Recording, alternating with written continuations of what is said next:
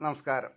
ശ്രീകൃഷ്ണ കഥാമൃതം ഭാഗം നൂറ്റി തൊണ്ണൂറ്റി നാല് ഹരേ രാമ ഹരേ രാമ രാമ രാമ ഹരേ ഹരേ ഹരേ കൃഷ്ണ ഹരേ കൃഷ്ണ കൃഷ്ണ കൃഷ്ണ ഹരേ ഹരേ. ഓം ശ്രീകൃഷ്ണാർപ്പണമസ്തു ഓം ശ്രീകൃഷ്ണായ പരബ്രഹ്മണേ നമ ഓം ശ്രീകൃഷ്ണായ പരമാത്മനേ നമ ഓം ശ്രീ ഗുരുഭ്യോ നമ ഓം ശ്രീ രംഗനാഥ ശർമ്മണേ നമ ഹരേ രാമ ഹരേ രാമ രാമ രാമ ഹരേ ഹരേ ഹരേ കൃഷ്ണ ഹരേ കൃഷ്ണ കൃഷ്ണ കൃഷ്ണ ഹരേ ഹരേ. എഴുപത്തിനാലാം സർഗാണെന്ന് തുടങ്ങേണ്ടത്. അതിന്റെ പേര് കപിലാവതാരം കർദമന്റെ ഭഗവത് പ്രാപ്തി കർദമ പ്രജാപതിയുടെ ഭഗവത് പ്രാപ്തി. അപ്പോൾ ഇതിന്റെ മുമ്പത്തെ എഴുപത്തി മൂന്നാം സർഗം കർദമ പ്രജാപതിയുടെ ഗ്രാ ഗ്രഹസ്ഥാശ്രമത്തിനെ പറ്റിയിട്ടായിരുന്നു. അതിന്റെ അവസാനത്തെ ശ്ലോകം ഇന്നലെ അവസാനിപ്പിച്ചത് തൊണ്ണൂറ്റിയഞ്ചാമത്തെ കുറച്ച് വലിയ സർഗമായിരുന്നു എഴുപത്തി മൂന്ന് മോക്ഷത്തെ വർഷിച്ചിടുമൻ പ്രിയന്റെ കൂടെ ചമഞ്ഞാറേ തെളിഞ്ഞുവാണും ഭക്ത്യാദി വേണ്ടുന്നവമായയാൽ ഞാൻ ആശിച്ചിതില്ലത്രയത പതിച്ചോൾ. അതായത് ഞാൻ ഈശ്വരൻ ഭഗവാനിൽ നിന്ന് എന്റെ ഭർത്താവിൽ നിന്ന് മോക്ഷം ചോദിച്ച് വാങ്ങാത്തത് അതിന് കാരണം ഞാൻ അത്രയും മതപ്പതിച്ചു. ഞാൻ ലൗകികമാണ് ചോദിച്ച് വാങ്ങിയതെന്നാ. അപ്പം അതിലൊരു ഗുണപാടുണ്ട്. കുട്ടികൾ മക്കൾ എന്നുള്ളത് പുത്രേഷണ ധാരേഷണ അർത്ഥേഷണ ഇങ്ങനെ ഏഴ് ഏഷണകൾ പോരായ്മകളുണ്ടെന്നാണ് പറഞ്ഞത്. ഐദർ സ്പൗസ് നന്ന് അല്ലെങ്കിൽ നന്നായില്ല. ഒരു ദുഃഖമാണ് കുട്ടികൾ നണ്ട് നന്നായില്ല. അതൊരു ദുഃഖമാണ് അർത്ഥേഷണ സമ്പത്ത് ശരിയായ സമ്പത്ത് വിദ്യയാണ്. വിദ്യ ഇല്ലാതെ കണ്ട് ഇരുട്ടത്ത് തപ്പുന്ന ആൾക്കാരുണ്ട് അന്ധകാരത്തിൽ. അതുകൊണ്ടാണ് പറഞ്ഞത് ഭക്തിയാദി വേണ്ടുന്നവമായയാൽ ഞാൻ ആശിച്ചതില്ല. ഏ? അത്ര അതപ്പതിച്ചോൾ അപ്പം നമ്മളാരും അതപ്പതിക്കരുത് നമ്മുടെ ഉദ്ദേശം എന്തായിരിക്കണം? ലൗകിക ലൗകികതയായിരിക്കരുത് ആധ്യാത്മികതയായിരിക്കണം. ഇനി നമ്മൾക്ക് ഈ കപിലാവതാരം അല്ലെങ്കിൽ കർദമ പ്രജാപതിയുടെ ഭഗവത് പ്രാപ്തി എന്നുള്ളതിൽ ഒന്നാമത്തെ ശ്ലോകം നോക്കുക. ഇത്രയും ശുദ്ധമാം ഭാവമുൾത്തിങ്ങും ദേവഹൂതിയിൽ കൃപയാർന്ന് അരുളി ചെയ്താൻ വിഷ്ണുവിൻ മൊഴിയോർത്തുടൻ. ഈ കർദമ പ്രജാപതി മഹാവിഷ്ണുവിന്റെ വാക്കുകൾ ഓർമ്മിച്ചു. എന്നിട്ട് ഇത്രയും ശുദ്ധമാം ഭാവമുൾത്തിങ്ങും ഈ ഭാവത്തിനാണ് വില. ശുദ്ധമായ ഭാവം ഏ? ദേവഹൂതിയിൽ കൃപയാർന്ന് അരുൾ ചെയ്ത എന്താ അരുൾ ചെയ്തത്? നന്നായി ഇനി ചൊല്ലിയതൻ പ്രിയേ മാഴ്കായകതല്ലിനി. ഇനി ലവലേശം കൂടി താൻ വിഷമിക്കാൻ പാടില്ല. താൻ എന്നെ വേണ്ടത് ഓർമ്മപ്പെടുത്തി എന്നാ പറഞ്ഞത്. നന്നായി നീ ചൊല്ലിയ ചൊല്ലിയതൻ പ്രിയേ മാഴ്കായകതല്ലിനി നിൻ ഭാഗ്യവതിയാൻ നീ നിർഭാഗ്യവതിയാണെന്നും മറ്റുമോതായികൊരിക്കലും നീ ഭാഗ്യം കെട്ടവളാണെന്ന് മാത്രം പറയരുത്. എന്നാൽ പിന്നെ എന്റെ തപസ്സിന്റെ വൈദഗ്ധ്യം എന്താണെന്നാണ് ചോദിച്ചതിന്റെ അർത്ഥം? ഏ? കൃപയാർന്നരുളി അപ്പോൾ പറഞ്ഞു നിൻ ഭാ നിർഭാഗ്യവതിയാണെന്നും മറ്റുമോതായി ഒരിക്കലും. അപ്പോൾ എനിക്ക് നിങ്ങളോട് ശ്രദ്ധിച്ച് പറയാനുള്ളത് ശ്രദ്ധിച്ച് നിങ്ങൾ കേൾക്കേണ്ടത് ഒരിക്കലും സ്ത്രീയാണെങ്കിലും പുരുഷനാണെങ്കിലും ഞാൻ നിർഭാഗ്യവാനാണ് എന്ന് പറയരുത്. കാരണം എന്താ? നമ്മൾ ജീവിക്കണത് ഈശ്വരപ്രാപ്തിക്ക് വേണ്ടിയിട്ടാണ്. അത് ചെയ്യാതെ കാരണം നമ്മൾ അജ്ഞാന ദിവിനം ബാധിച്ച ആൾക്കാരെ പോലെ ആയത് അതിന് ഈശ്വരന് പങ്കില്ല. നമ്മുടെ പിടിപ്പുകേടുകൊണ്ടാണ് നമ്മൾ മായയിൽ കുടുങ്ങണത്. അതുകൊണ്ട് ഒരിക്കലും ജന്മത്തെ പഴിക്കരുത്. സ്ത്രീയാണെങ്കിലും പുരുഷനായാലും ബാലനാണെങ്കിലും യുവാവാണെങ്കിലും വൃദ്ധ വൃദ്ധനായാലും. ഏ? നിർഭാഗ്യവതിയാണെന്നും ഒരിക്കലും ഭഗവാൻ നിൻ പുത്രനായിട്ട് അമ്പാർന്നവതരിച്ചിടും. സാക്ഷാൽ ശ്രീ മഹാവിഷ്ണു നെണ്ണിൽ മകനായിട്ട് സംഭവിക്കാൻ പോകുന്നുണ്ട് അവതാരം എടുക്കാൻ പോകുന്നുണ്ടെന്നാണ് പറഞ്ഞത്. അങ്ങനെ ഉണ്ടാകുന്ന കുട്ടിയുടെ പേരാണ് കപില വാസുദേവൻ കപിലാചാര്യൻ സാംഗയോഗത്തിന്റെ പ്രയോക്താവ് എന്നൊക്കെ പറയും. അപ്പോൾ ഭഗവൻ ഭഗവാൻ നിൻപുത്രനായിട്ട് അമ്പാർന്ന് അവതരിച്ചിടും അവിടുന്ന് അന്ന് കൽപ്പിച്ച കാര്യം തീരെ മറന്നു ഞാൻ. ഞാൻ അന്ന് കൽപ്പിച്ച കാര്യങ്ങൾ എന്നോട് പറയാൻ ഞാൻ മറന്നു. ഏ? അതുകൊണ്ട് മനുനന്ദിനി നീ എത്ര സൗഭാഗ്യവതിയാം ശുഭേ. സാക്ഷാൽ മഹാവിഷ്ണുവാണ് നിനക്ക് മകനായിട്ട് പറക്കാൻ പോണത്. അതിനേക്കാൾ വലിയ ഭാഗ്യം എന്താ ഉള്ളത്? ഏ? മനുനന്ദിനി നീ എത്ര സൗഭാഗ്യവതിയാം ശുഭേ. സാങ്ക്യാശാസ്ത്ര പ്രണേതാവിൻ മാതാവേ കണ്ട ധന്യയാം. നീ ആരാണ് എന്നാ പറഞ്ഞത്? സാഖ്യാശാസ്ത്ര പ്രണേതാവിൻ മാതാവ് ആകേണ്ട ധന്യയാം. ഏ? വിഷയാസക്തരായി തന്നെ വാഴുകയാൽ വേണ്ടത് മറന്നതാകണം തേ തെറ്റില്ല ആയതിൻ ധർമ്മമങ്ങിനെ. എന്താ പറഞ്ഞത്? വിഷയാസക്തരായി തന്നെ വാഴ വാഴുക വാഴുകയാൽ വേണ്ടത് വിധം. അതായത് വിഷയാസക്തരായിട്ട് തന്നെ ജീവിക്കുക കാരണം വേണ്ടത് ഈ വിധം മറന്നതാകണം. ഏ? മറന്നതാകണം തെറ്റില്ലായതിൽ ധർമ്മമെങ്ങിനെ ധർമ്മമങ്ങിനെ. ആകയാൽ ഇനിയൊട്ടേറെ ഉള്ളം സംശുദ്ധമാം വിധം അതുകൊണ്ട് എന്ത് ചെയ്യണം? ഇനി ഇവിടുന്ന് അങ്ങോട്ടുള്ള ദിവസങ്ങളിൽ നമ്മുടെ മനസ്സിനെ നൂറ് ശതമാനം ശുദ്ധമാക്കി വെക്കുക എന്നാലാണ് മഹാവിഷ്ണുവിന് അവതരിക്കാൻ പറ്റുള്ളൂ. ആകയാൽ ഇനിയൊട്ടേറെ ഉള്ളം സംശുദ്ധമാംവിധം ഭക്തിഭാവത്തിൽ മുഴുകി തന്നെ ജീവിച്ചു പോരണം. ഇത് നമ്മൾക്കുള്ള ഒരു ഉത്തരവാദിത്തമാണ് നമ്മൾ ഓരോരുത്തർക്കും പ്രജകൾ ഉണ്ടാവുമ്പോൾ മഹാവിഷ്ണു സദൃശമായിട്ടുള്ള കുട്ടികൾ ഉണ്ടാവണമെങ്കിൽ നമ്മുടെ ഉള്ളം പരിപാവനമായിരിക്കണം. പരിപാവനം. അതുകൊണ്ടാണ് ഭക്തിഭാവത്തിൽ മുഴുകി തന്നെ ഭവിച്ചു പോരണം. ഭക്തിയും ജ്ഞാനവും മണ്ണിൽ വിലസിക്കുന്ന കുഞ്ഞവൻ. ഭഗവാൻ എങ്ങനെയാണ് അവതാരം ചെയ്യുക? ഭക്തിയും ജ്ഞാനവും മണ്ണിൽ വിലസിക്കുന്ന കുഞ്ഞവൻ മോക്ഷമാർഗം നിനക്കാമ്പാർന്നുപദേശിച്ചു തന്നിടും. മോക്ഷമാർഗം എന്താണ് എന്ന് നണക്ക് താല്പര്യത്തോടുകൂടി കരുണാമയനായിട്ട് ഭഗവാൻ പറഞ്ഞു തരും. ഭർത്താവിനാജ്ഞ കൈകൊണ്ടു മനനന്ദിനിയാവിധം ഭജിച്ചാളുള്ളിൽ മിന്നീടും ആത്മാവാം അഖിലേഷനെ അവ നമ്മൾ എന്ത് ചെയ്യണം? നമ്മൾ സ്വന്തം ആത്മാവിനെ പൂജിക്കണം. അതെങ്ങനെ ഭർത്താവിനാജ്ഞകയ കൊണ്ട് മനുനന്ദിനിയാവിധം ഭജിച്ചാളുള്ളിൽ മിന്നീടും ആത്മാവാ മഹിലേശനെ അപ്പം ഞാൻ അവിടെ കമന്റ് എഴുതി വെച്ചിട്ടുണ്ട്. Too good a point to be known ഏതവസരത്തിലും നമ്മൾ മറക്കാണ്ട ഇരിക്കേണ്ട പോയിന്റാണിത് ഏ?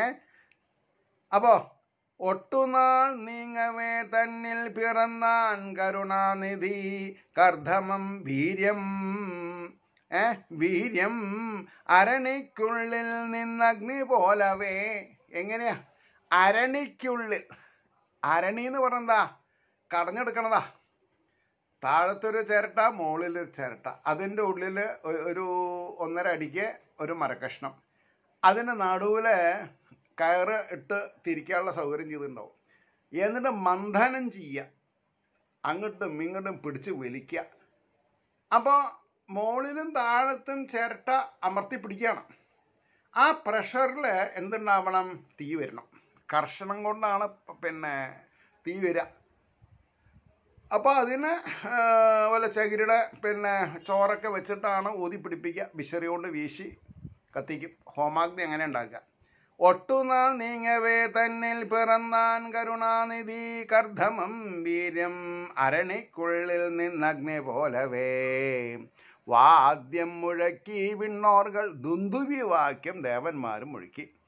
വാദ്യം മുഴുക്കി വിണ്ണോർകൾ വാനിൽ മേഘവും മങ്ങിനെ. അതെന്താ അത്?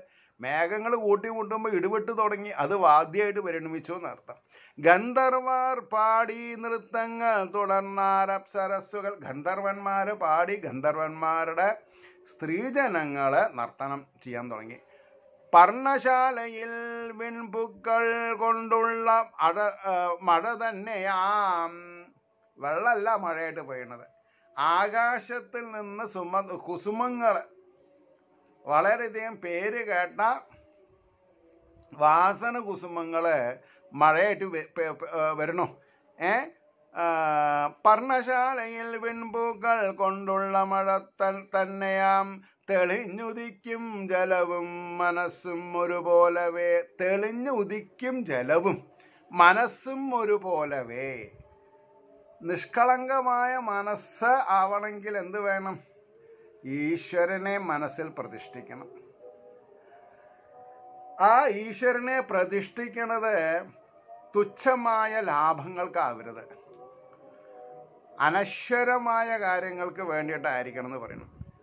അങ്ങനെ പറയുമ്പോഴാണ് പറഞ്ഞത് വന്നിങ്ങവതിരിച്ചുള്ളതറിഞ്ഞ ആനന്ദമഗ്നരായി നദി തന്നടുവിൽ കാണും പുണ്യമാം ഗർദ്ധമാശ്രമം. അല്ല അതിനു മുമ്പ് ഞാൻ ഒരു ഒരു ശ്ലോകം വിട്ടു. എങ്ങനെ അത് ഞാൻ ഒന്നുകൂടി പറയാം.